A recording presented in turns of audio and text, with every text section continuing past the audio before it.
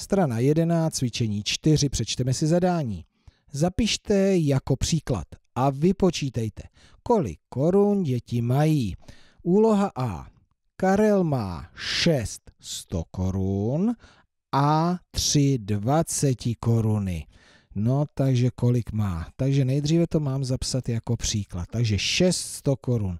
To je 6 krát stovka, 100, a plus 3 20 koruny. 3 krát 20 korun. Tak, jak to vypočítám? Násobení má vždycky přednost, takže nejdříve toto násobení 6 krát 100 rovná se 600 plus další násobení má také přednost. 3 krát 20, 3 krát 2 6, 60. No a to je lehké, 600 plus 60, 660. Karel má 660 korun. Podíváme se na řešení.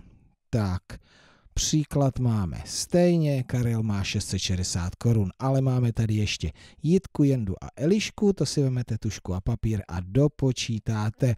Chvíli si dáte pauzu na videu a já vám za chvíli ukážu výsledky.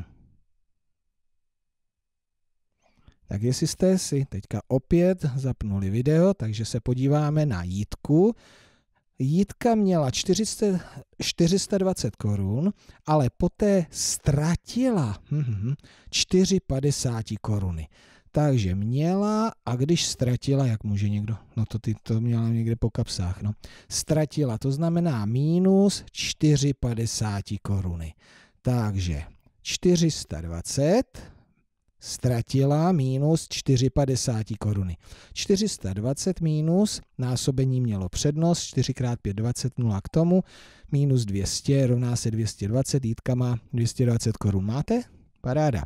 Dá, e, jdeme na C, Jenda má 4 100 koruny, 2 50 koruny a 6 5 korun. Takže to je delší příklad. 400 koruny, 2 50 koruny, 6 5 korun. Takže všechna násobení mají přednost. 400 plus 100 plus 30.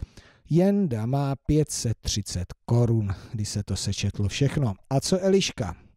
Eliška měla 120 korun a potom dostala 6 5 korun a jednu 100 korun. Takže dostala, to budeme přičítat.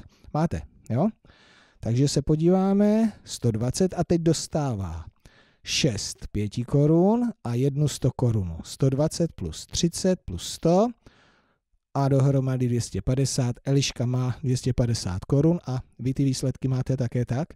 No pokud ano, tak jsem jenom rád, protože tohle ty příklady dokážete použít ve slovních úlohách.